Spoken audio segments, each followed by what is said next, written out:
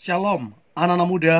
Di waktu yang baik ini, saya coba berbagi hal yang sangat-sangat penting, dan saya percaya ini akan sangat memberkati teman-teman muda yang terkhusus teman-teman yang sedang LDRan.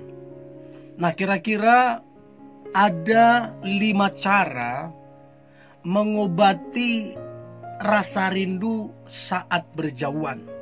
Nah, kebetulan saya dengan istri saya ketika kami berpacaran maka lima cara ini yang kami lakukan konsisten dan puji Tuhan eh, rasa rindu itu terbayarkan dan hubungan boleh berhasil sampai kepada pernikahan. Nah, saya berharap apa yang coba saya bagikan ini membantu teman-teman muda yang sedang LDRan supaya hubungan kalian itu boleh bertumbuh berhasil sampai kepada pernikahan. Oke? Okay? So, lima cara mengobati rasa rindu saat berjauhan. Yang pertama, membangun mesbah doa dengan pasangan. Bagaimana sih maksudnya mesbah doa? Nah, ini kebiasaan yang dulu eh, kami lakukan dengan istri saya waktu kami pacaran ya kami berdoa sebelum tidur ya kami berdoa sekalipun jarak memisahkan tapi doa itu menyatukan. Jadi kami bangun itu. Bahkan kami dulu ada uh, buat program baca firman waktu kami uh, berpacaran. Kami tulis. Kami bukan sekedar membaca tapi kami tulis apa yang uh, sekiranya kami perlu ketahui, perlu pelajari kami tulis. Itu kami lakukan semasa kami pacaran. Dan apa yang kami lakukan itu membuat hubungan itu jadi menyenangkan. Jauh dari kata bosan, jauh dari kata jenuh. Karena kita melibatkan Tuhan dalam hubungan LDR LDR kita. Untuk itu teman-teman muda yang lagi LDR, ayolah cobalah bicarakan dengan pasanganmu untuk membangun mesbah doa. Kalian doa bareng dan membaca uh, firman Tuhan. Dan saya percaya ini akan menjadi kekuatan supaya hubungan yang dibangun itu tidak menjenuhkan, namun sebaliknya hubungan itu boleh berhasil, diberkati Tuhan dan jadi berkat bagi banyak orang. So itu yang pertama. Yang kedua, cara mengobati rasa rindu saat berjauhan adalah membangun komunikasi yang sehat serta teratur. Jujur, selama saya berpacaran, ya, saya setiap hari saya dengan pacar saya ya waktu kami LDRan, setiap hari kami komunikasi yang sekarang jadi istri saya. Jadi dari kami pacaran sampai kami nikah, kami tiap hari komunikasi setiap hari tidak ada alasan sibuk untuk kemudian kami tidak komunikasi. Setiap hari kami komunikasi. Chat iya, telepon iya. Itu kami bangun, konsisten kami bangun. Dan saya membiasakan, kalau saya mau pergi ke mana, saya WA. Kebetulan kan istri saya kerja. Jadi kalau di telepon bisa bisa sibuk. Saya WA, uh, beb, uh, saya ke sini ya ketemu orang ini saya ke sini ya, saya ke sini, saya ke sini. Jadi tanpa sadar yang kita tadi elderan itu serasa dekat karena aktivitas masing-masing kita tahu. Jadi penting banget bahkan teman-teman saya saya kenalin tuh ke pacar saya. Jadi ini yang membuat uh, relationship kami sekalipun LDRan itu menyenangkan, asik. Makanya banyak teman-teman saya yang belum pernah ketemu dengan istri saya, tapi mereka udah saling tahu. Karena apa? Saya kenalin. Jadi kalau saya ketemu ini, ketemu ini, saya kenalin. Sebisa mungkin saya kenalin dengan istri saya via telepon atau paling tidak say hello atau kirim salam.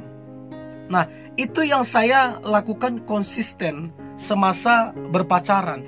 Dan puji Tuhan, hari ini sampai ke pernikahan Tuhan tolong semua dan Tuhan berkati. Jadi coba bangun komunikasi yang sehat dan teratur.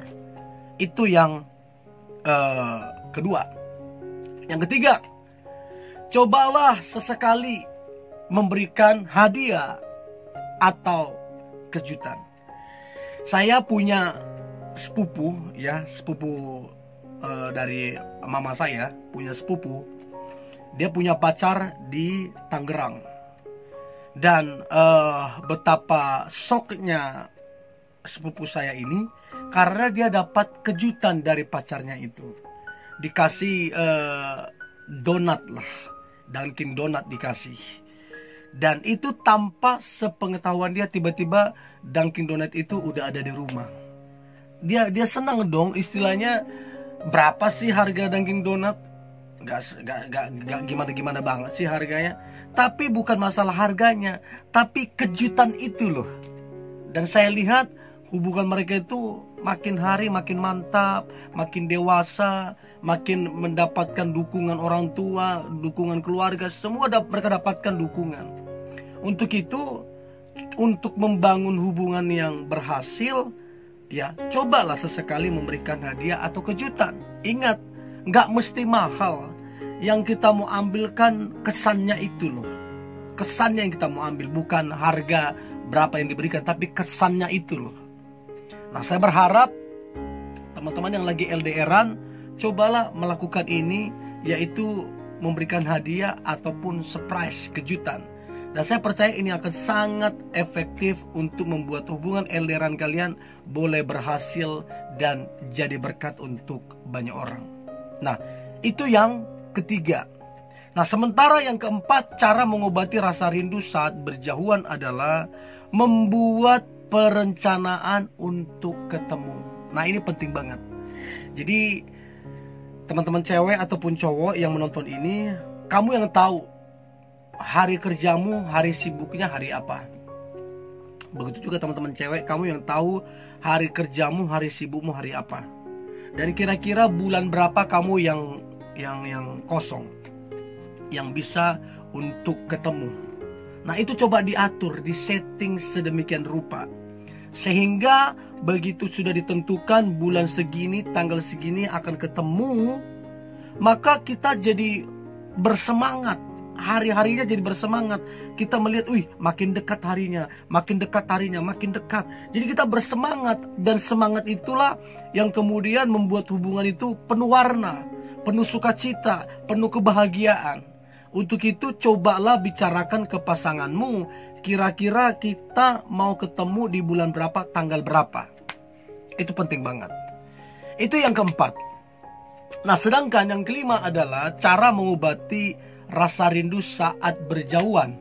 Maka yang kelima adalah cobalah sesering mungkin sesering mungkin memberikan pujian, memberikan dukungan, bahkan keyakinan terhadap pasangan. Ini kelihatannya biasa.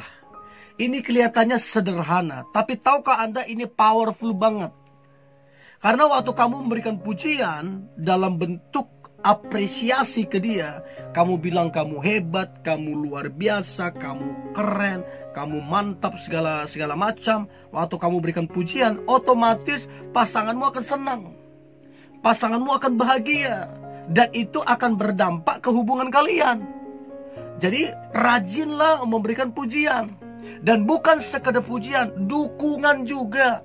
Kamu mendukung apa yang dia kerjakan, kamu dukung apa yang dia rencanakan, kamu dukung apa yang dia harapkan dan apa yang dia mimpikan, kamu dukung.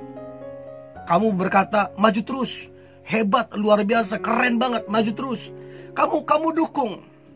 Yang dia kerjakan itu baik, selama yang dikerjakan itu benar, kamu dukung. Dan saya percaya itu yang buat dia jadi semangat, jadi antusias. Untuk itu, teman-teman muda, belajarlah memberikan dukungan. Ya, jangan menyepelekan hal-hal yang kelihatannya sederhana, hal-hal yang kelihatannya kecil, tapi itu sangat powerful banget untuk membuat hubungan kalian itu makin hari makin romantis, makin hari makin bertumbuh. Dan yang terakhir, uh, selain memberikan pujian, selain memberikan dukungan, kamu juga memberikan keyakinan. Kamu harus yakin sama dia. Jangan sedikit curiga, jangan sedikit bertanya. Hal-hal yang memancing kecurigaan itu nggak bagus. Belajar memberikan keyakinan. Maka saya percaya hubungan itu akan berhasil. So, lima cara ini kalau teman-teman lakukan bukan sekedar mengobati rasa rindu, tapi membuat hubungan itu makin lama makin kuat, makin lama makin bertumbuh, berhasil sampai kepada pernikahan. Oke? Okay? So ini yang boleh saya bagikan teman-teman muda. Pesan saya tetaplah semangat, tetaplah antusias. Hari ini hari yang luar biasa, hari yang penuh dengan mujizat dan berkat-berkat Tuhan. God bless you.